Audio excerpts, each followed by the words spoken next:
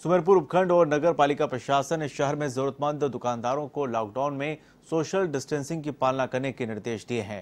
इस पाबंदी के बाद भी दुकानों पर पूर्ण रूप से सोशल डिस्टेंस का पालन नहीं हो पा रहा है।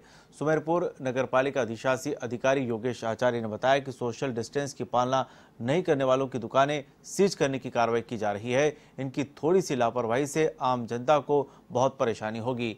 लेकिन फिर भी कई दुकानदारों ने राजनीतिक दबाव बनाकर दुकान खोलने को कहा। इसके बाद भी नगर प्रशासन ने इनकी दुकानों को लॉकडाउन अवधि तक सील किया है।